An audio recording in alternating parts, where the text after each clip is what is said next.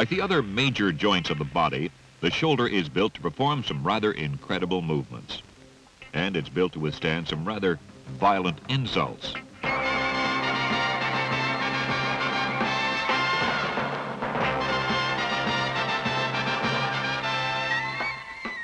But of course, the shoulder isn't always capable of doing what it's asked to. Sometimes, instead it dislocates or subluxates. This may result from trauma or from some violent normal activity. After the initial insult, shoulder instability will occur with increasingly less severe activities. Sometimes reaching the point of interfering with routine daily actions. The question is, what can you do for a patient who complains of a shoulder pain? How do you diagnose subluxation? And how should this condition be treated? For dislocation, the answers are familiar. We'll focus our attention instead on subluxation. What is your problem? Sir, I have a shoulder injury. How did you injure your shoulder? It happened in a boxing class, and uh, it's been giving me a lot, of, quite a bit of trouble throughout the summer. And what kind of activities give you problems? That's a key question. It's important for you to determine whether the activity causing pain is avoidable or not. Some examples of avoidable activities.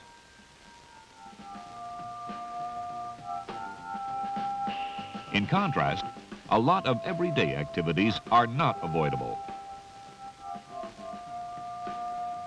There are as well some in-between situations. A patient may experience pain when playing tennis, but if tennis is his only form of exercise, he may not consider it avoidable.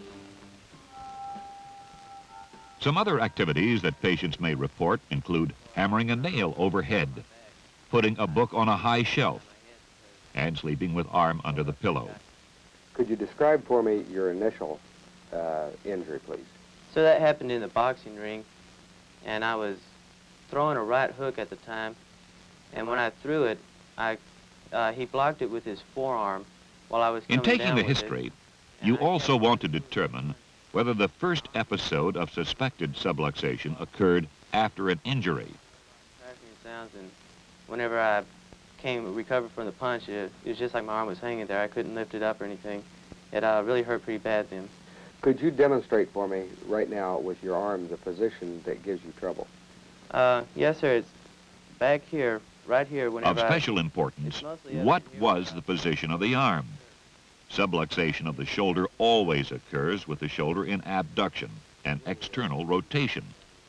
Insidious origin is rare.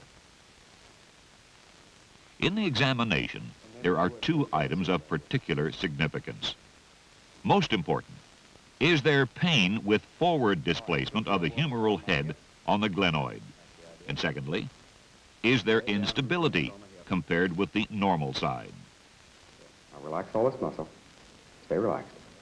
Good. Now try to keep that relaxed throughout the examination. That's uh, fairly important to me. Relaxation is absolutely essential.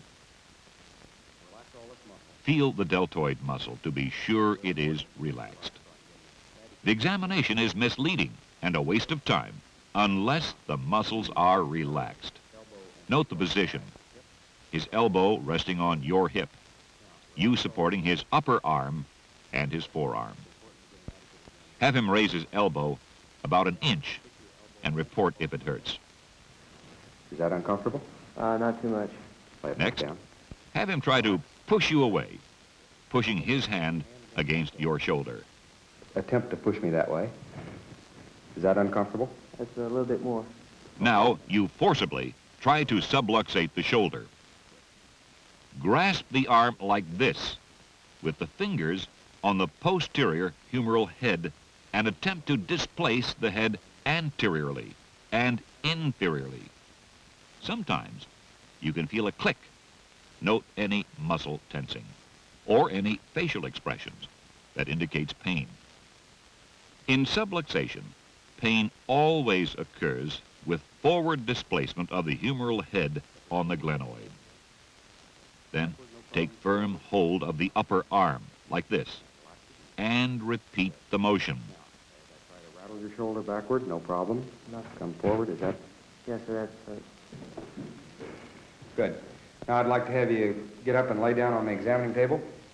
And we'll examine you lying down. I'll take those. The remaining steps are done with the patient supine.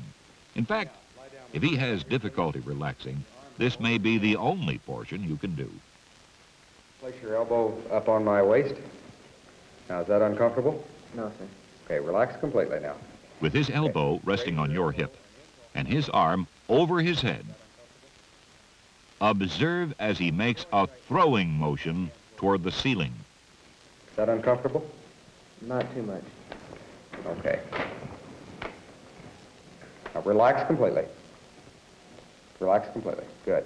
Finally, with your fingers in front and behind, as before, attempt to subluxate the humeral head. In the examination procedure, the importance of relaxation cannot be overemphasized. Tense muscles can stabilize the joint so that it allows no subluxation. X-rays should always be obtained in evaluating a patient with shoulder subluxation. Specify the modified axillary view, referred to here as the West Point view. This is the only projection that will show a Bankart lesion. On the skeleton, we can see what this view reveals. It provides a picture of the anterior glenoid and allows you to determine whether there is any anterior glenoid defect.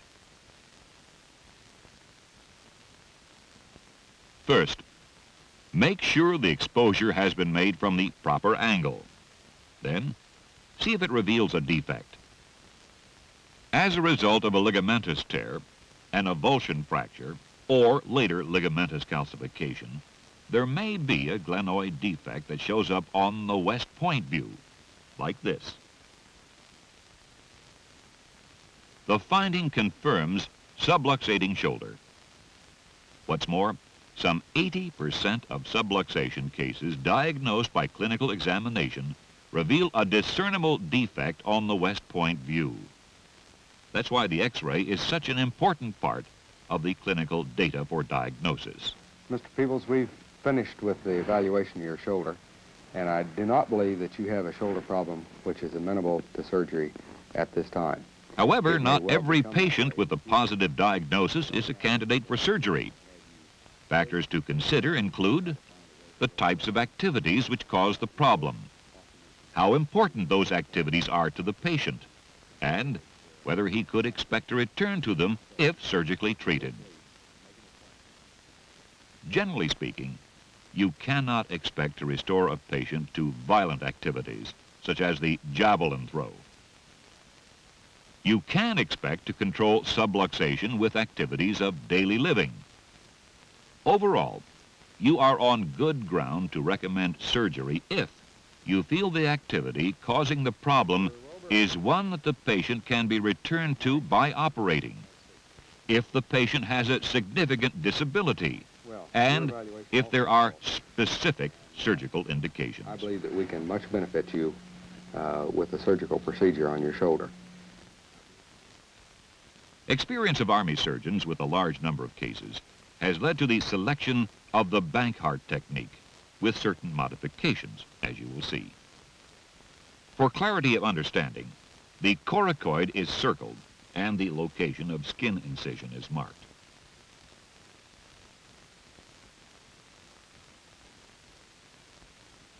Locate the position to begin by palpating the coracoid. The skin incision is made over the deltopectoral groove.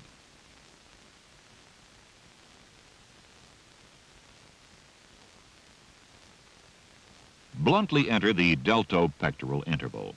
It is not necessary to visualize the cephalic vein, but if identified, it can go either way.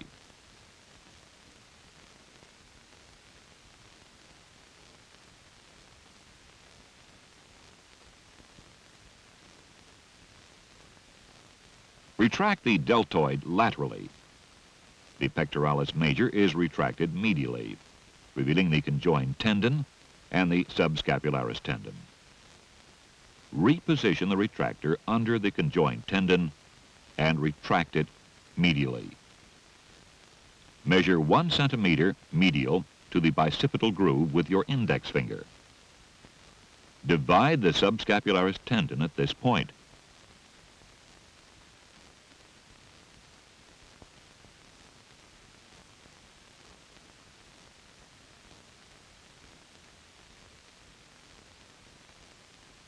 You tag the end of the subscapularis.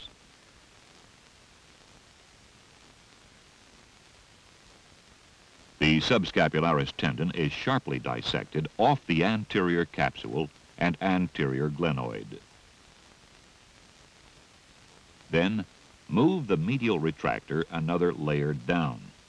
So it is retracting the subscapularis as well as the pectoralis major and the conjoined tendon. The entire anterior capsule and anterior glenoid are now exposed to view. Next, a T-cut in the anterior capsule. Make the vertical portion of the T one centimeter medial to the stub of the subscapularis tendon. Then make the horizontal cut down to the anterior glenoid rim.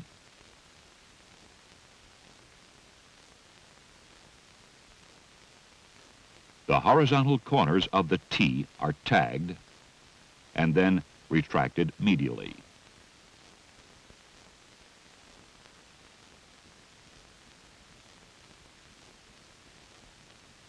In this view, the Bankart lesion is particularly well visualized. All patients with subluxating shoulders will have an anterior glenoid lesion, although not usually as large as this.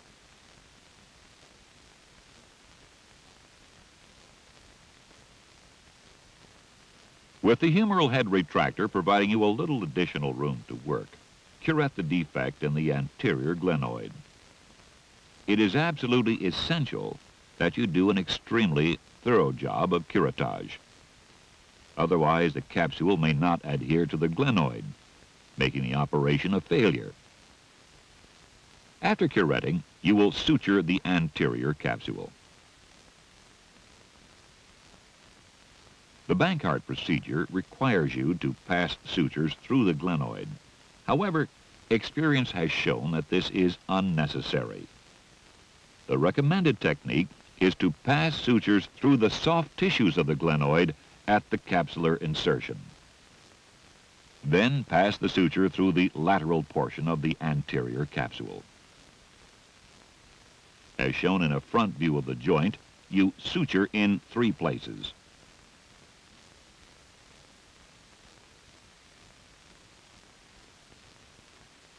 The shoulder is internally rotated and sutures are tied. When tied, the lateral margin of the teed capsule is thus brought to the anterior glenoid rim. These sutures form the first of what will be three levels of repair.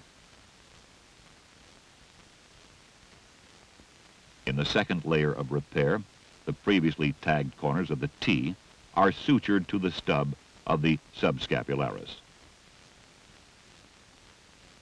Note that the inferior leaf of the T is maximally displaced cephalad, and the superior leaf is displaced caudad.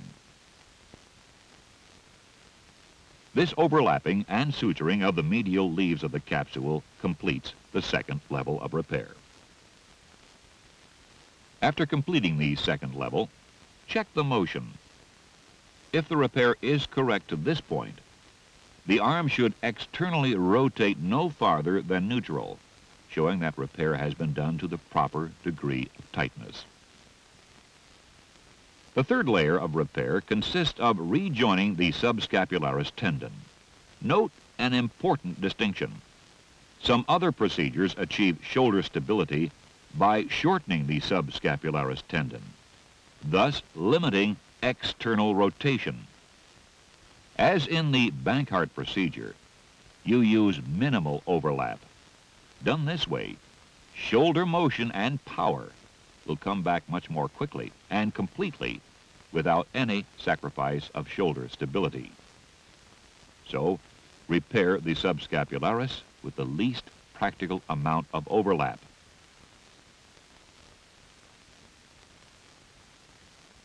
Skin closure is standard.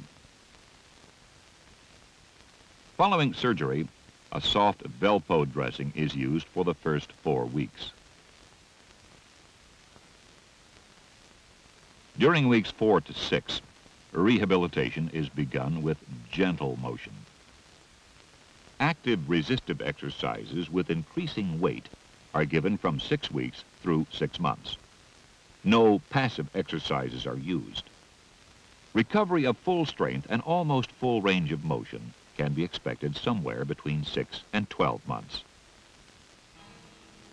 In the past, muscular development and hypertrophy have been considered as solutions to the problem of subluxation. But experience of Army surgeons shows that they are not. For example, the particularly well-developed young man you see here is a subluxator. He is living proof, just one of many, that physical therapy is not a solution to the problem. Surgery, when indicated, is a solution. And the results, as testified by the patients themselves in West Point survey, are highly successful. Full or nearly full recovery of normal shoulder use can be expected in most cases. With accurate diagnosis, properly applied surgical indications, and the techniques shown in this film, subluxation surgery can be approached with a high degree of confidence.